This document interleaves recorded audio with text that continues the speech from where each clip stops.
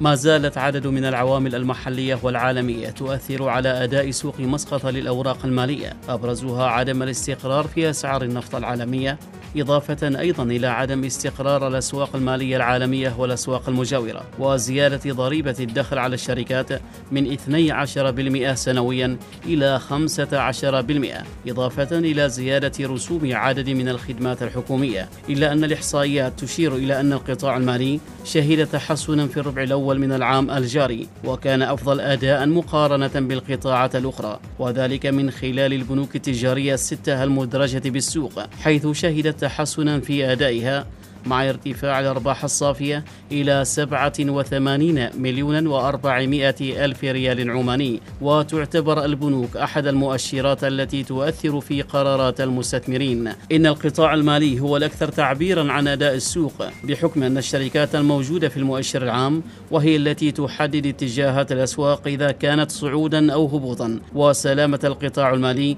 يعكس الوضع الاقتصادي لتلك الدول حيث كما نعلم أن القطاع المصرفي في عمان يتمتع بربحية عالية والمصارف منتظمة وفي نمو مستمر من عام إلى آخر. كذلك المصارف عودت المستثمرين على توزيعات أرباح سنوية وجميع هذه العوامل تعطي معطيات إيجابية للمستثمر في القطاع المالي والأسهم المدرجة في سوق مسقط للأوراق المالية.